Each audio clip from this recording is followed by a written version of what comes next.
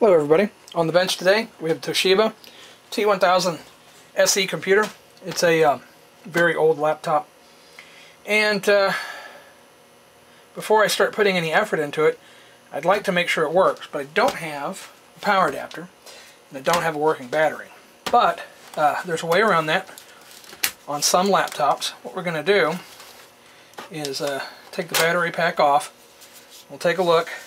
This is a uh, DC 7.2 volt 1700 milliamp hour battery.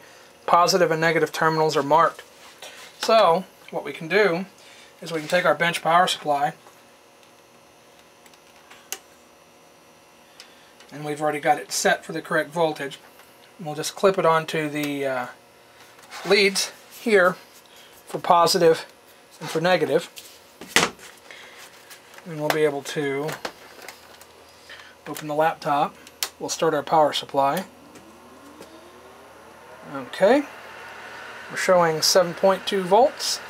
No current draw yet. We'll go ahead and press power button.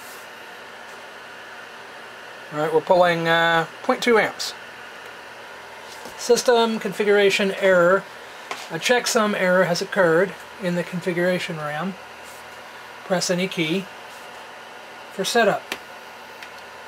Oh, our keyboard is not working very well here. Now let's see if we can find some adjustments on this screen. Well, I don't see any, but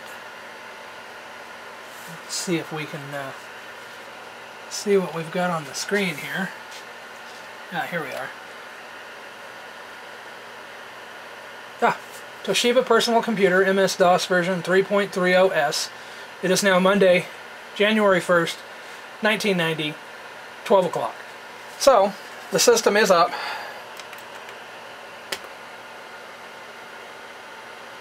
And apparently we must be in ROM-DOS. I don't have a floppy in here. So, that's cool. Uh, looks like this is working.